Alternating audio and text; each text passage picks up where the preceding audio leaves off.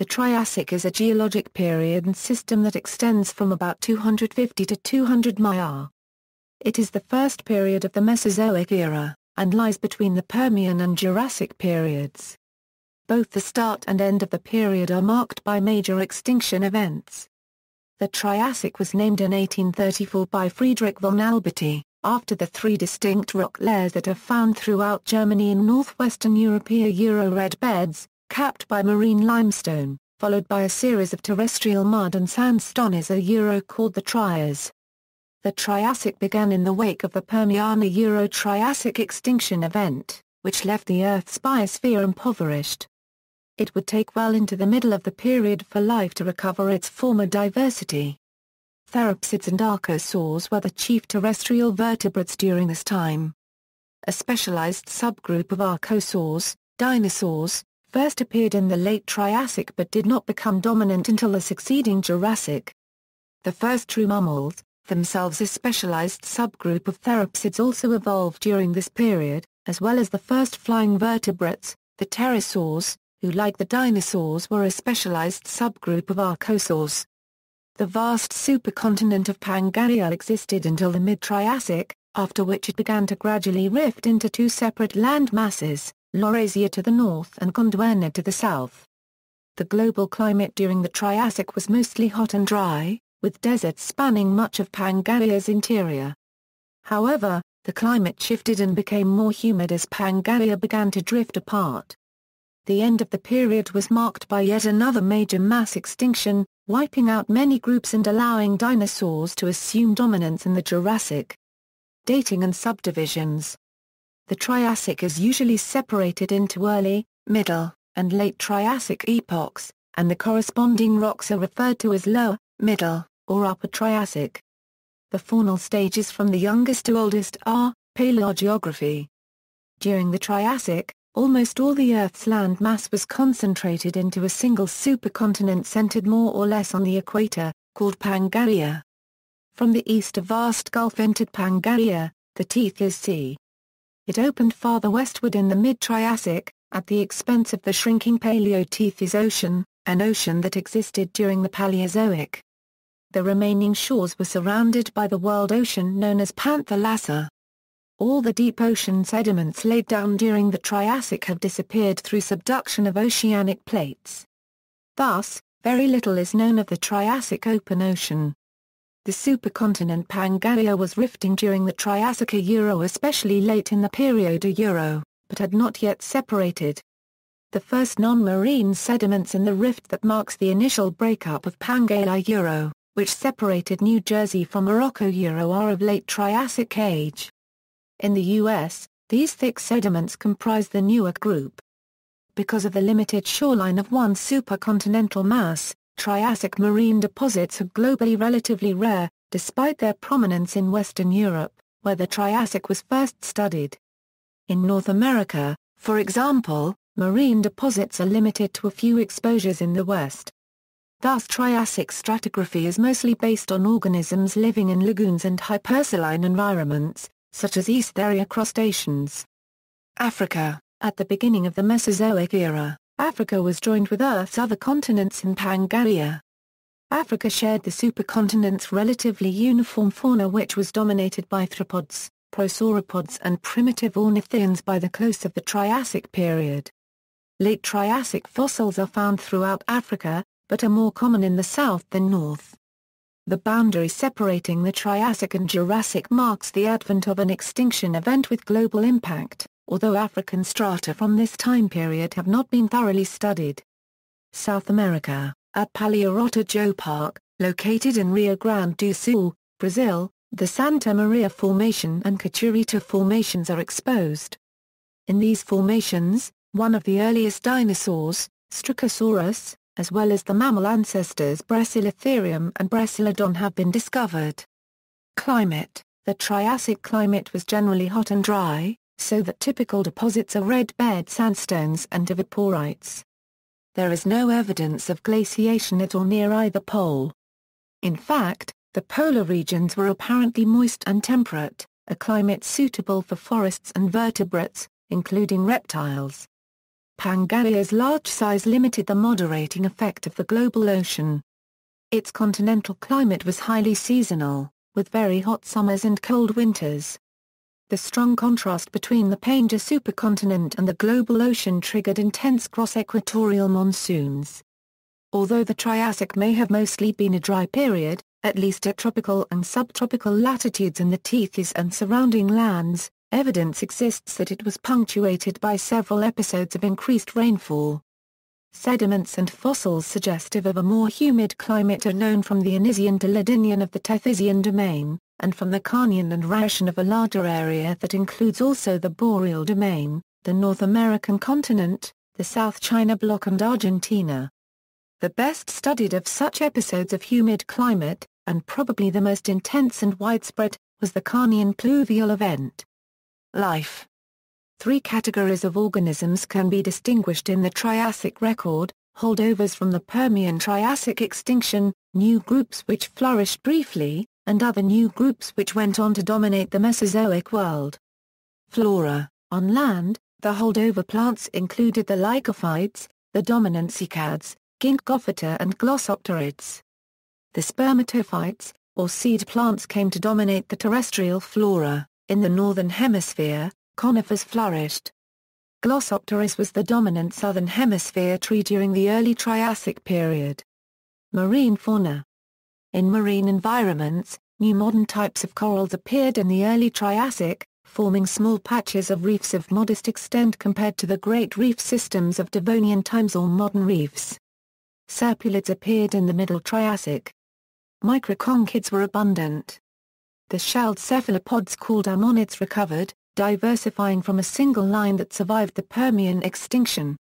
The fish fauna was remarkably uniform, reflecting the fact that very few families survived the Permian extinction. There were also many types of marine reptiles. These included the Sauropterygia, which featured Pachypleurosaurs and Nothosaurs, Placodonts, and the first Plesiosaurs. The first of the lizard-like Thalattosauria, and the highly successful ichthyosaurs, which appeared in early Triassic season soon diversified, some eventually developing to huge size during the late Triassic. Terrestrial fauna Important groups of terrestrial fauna, newly in the Triassic period or achieving a new level of evolutionary success during the Triassic include, temnospondyls. One of the largest and most important groups of early amphibians, Temnospondyls originated during the Carboniferous but flourished during the Triassic.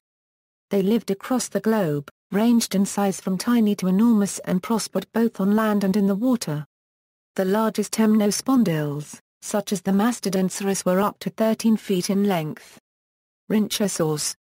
These barrel-gutted herbivores thrived for only a short period of time, becoming extinct about 220 million years ago but they were exceptionally abundant and were the primary large herbivores in many ecosystems. They sheared plants with their beaks and several rows of teeth on the roof of the mouth. Phytosaurs One of the most familiar of the crocodile line archosaurs, phytosaurs prospered during the late Triassic. These long-snouted and semi-aquatic predators resemble living crocodiles and probably had a similar lifestyle, hunting for fish and small reptiles around the water's edge. However this resemblance is only superficial and is a prime case of convergent evolution.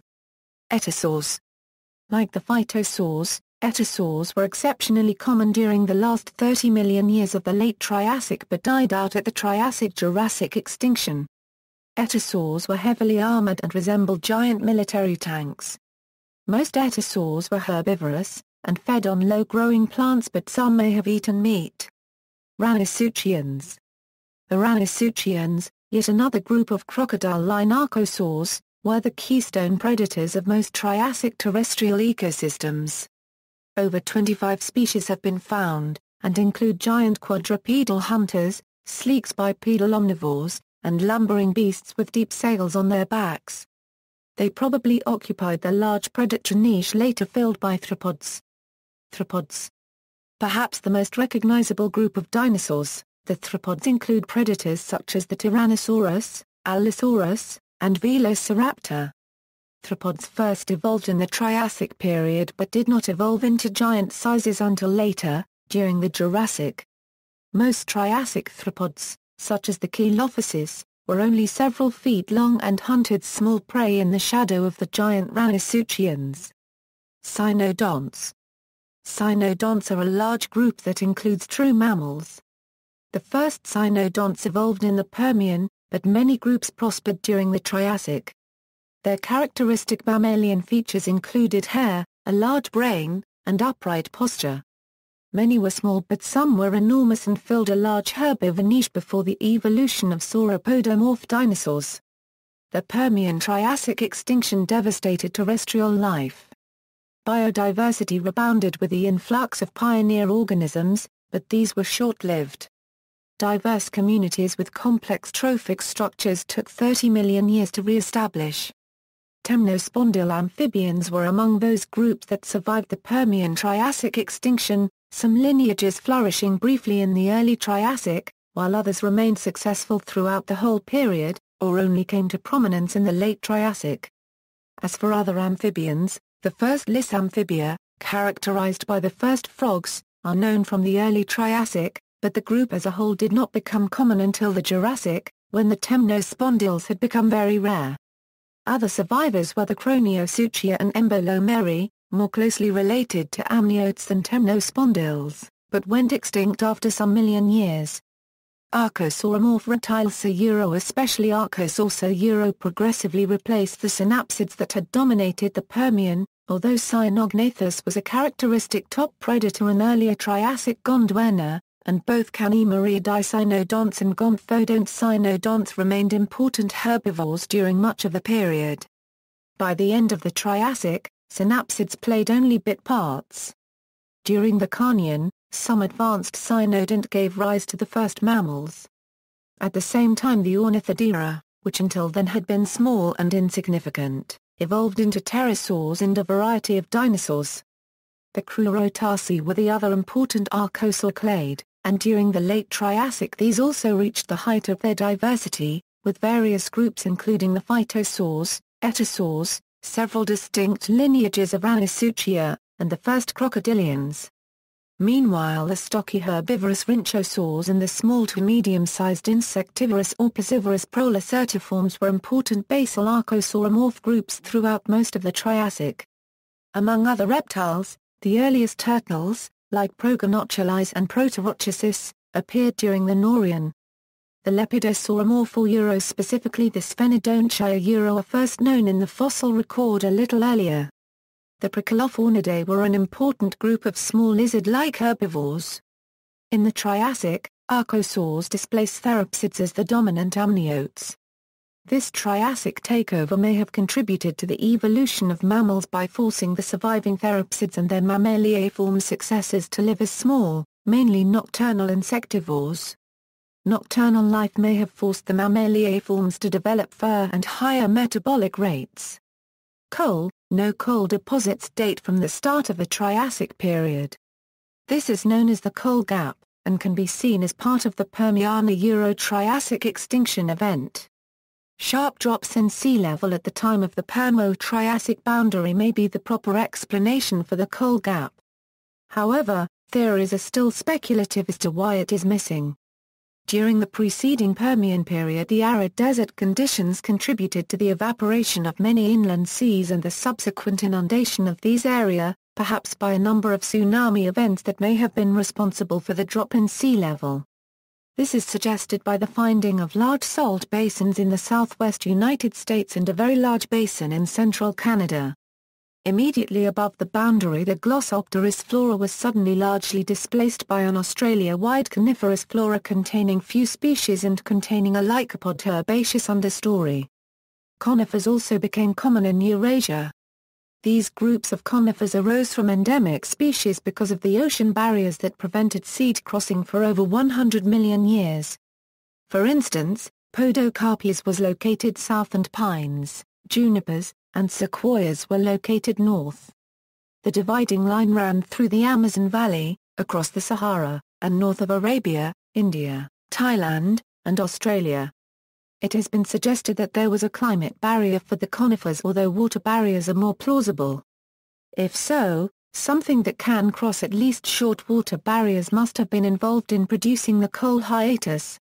Hot climate could have been an important auxiliary factor across Antarctica or the Bering Strait, however. There was a spike of fern and lycopod spores immediately after the close of the Permian. In addition there was also a spike of fungal spores immediately after the Permian-Triassic boundary. This spike may have lasted 50,000 years in Italy and 200,000 years in China and must have contributed to the climate warmth. An event excluding a catastrophe must have been involved to cause the coal hiatus due to the fact that fungi would have removed all dead vegetation and coal-forming detritus in a few decades in most tropical places. In addition, fungal spores rose gradually and declined similarly along with a prevalence of woody debris. Each phenomenon would hint at widespread vegetative death.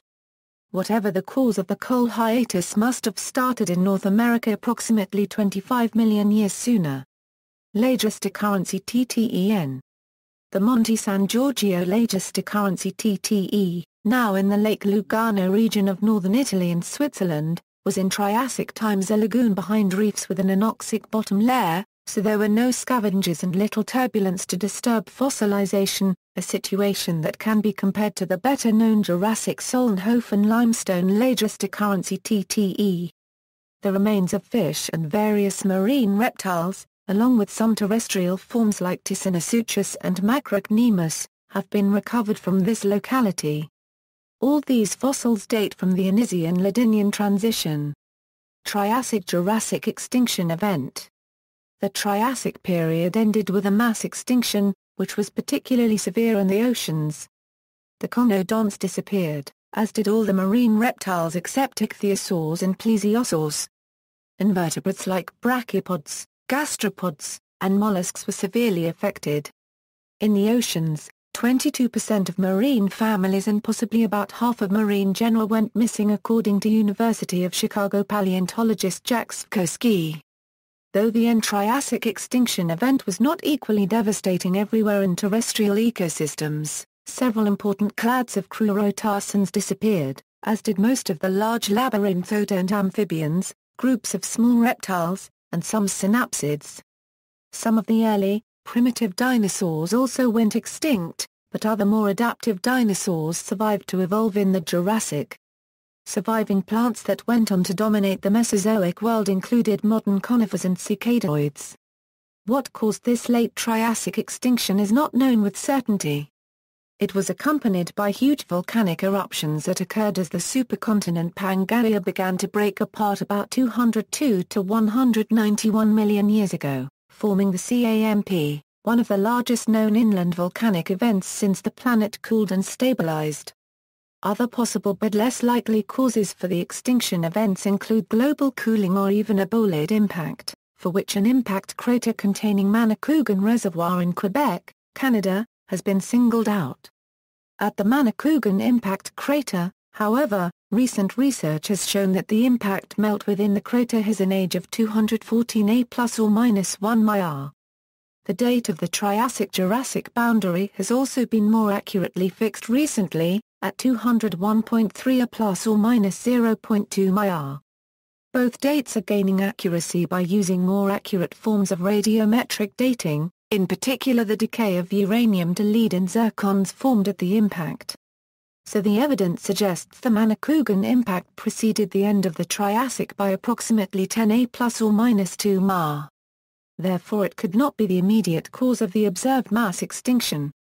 The number of late Triassic extinctions is disputed. Some studies suggest that there are at least two periods of extinction towards the end of the Triassic, between 12 and 17 million years apart but arguing against this is a recent study of North American faunas. In the petrified forest of northeast Arizona there is a unique sequence of latest Carnian early Norian terrestrial sediments. An analysis in 2002 found no significant change in the paleo-environment. Phytosaurs, the most common fossils there, experienced a changeover only at the genus level, and the number of species remained the same. Some aetosaurs, the next most common tetrapods, and early dinosaurs, passed through unchanged.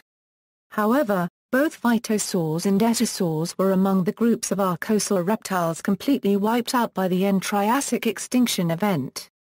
It seems likely then that there was some sort of end Carnian extinction, when several herbivorous archosauromorph groups died out, while the large herbivorous therapsids Euro the cynodonts and the traversodont cynodonts Euro were much reduced in the northern half of Pangaea.